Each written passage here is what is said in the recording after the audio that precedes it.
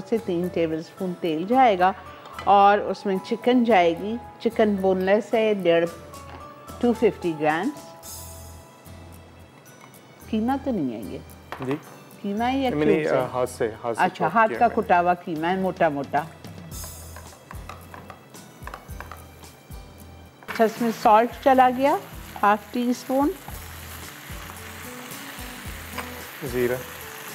White जीरा साबुत one tea spoon ये क्या था सर कुटा हुआ धनिया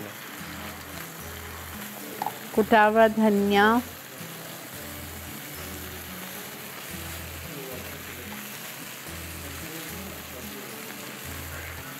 वन टेबल स्पून ज़ीरा one tablespoon salt half teaspoon गरम मसाला डाल दिया आपने? नहीं अभी डाल अच्छा। अच्छा कैबेज जाएगा इसमें मैक्रोनी समोसा में about one cup green chillies दो से तीन चॉप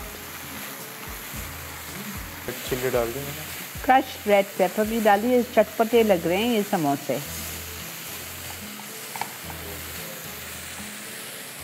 फिर इसके बाद टोमेटो जा रहे हैं टू कलर्ड ऑफ़ कैप्सिकम ये देखिए ये लिया यहाँ से कॉर्नर पकड़ा। और फिर यहाँ इसको ले यहाँ इसे पकड़ के इसकी फिलिंग की।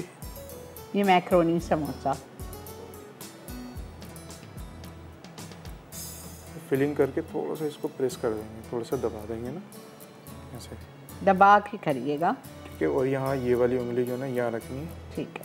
ठीक है और ये जो बचेगा यहाँ मैदा लगा आप मैदे को पानी के साथ उसका पेस्ट बना लीजिए, जिसे आप लई कहते हैं उर्दू में।